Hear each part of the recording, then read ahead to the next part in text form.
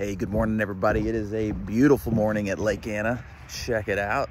A few quick updates from Lake Anna, a quick market update, and a couple other things. Right now, here at Lake Anna, there are 52 houses for sale at Lake Anna.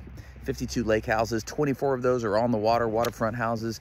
28 of them are water access homes. And the total average price right now for the uh, the average sales price here at Lake Anna is in the middle 950s. I think it's about $959,000. Uh, Things are still moving pretty fast. Inventory levels are still pretty low. Usually we're much higher than this. They're on their way back up. And inventory uh, levels are still low, but good news.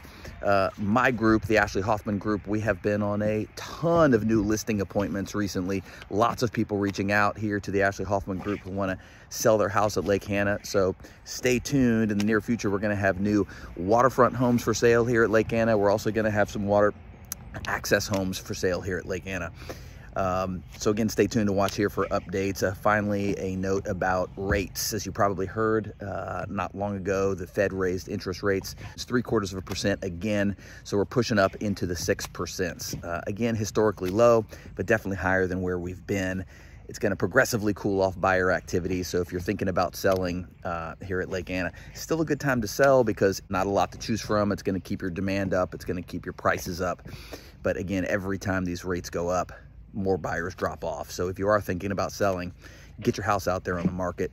And again, lots of people are doing that as we've been on lots of listing appointments recently. So stay tuned. Thanks for your time. We'll have more soon.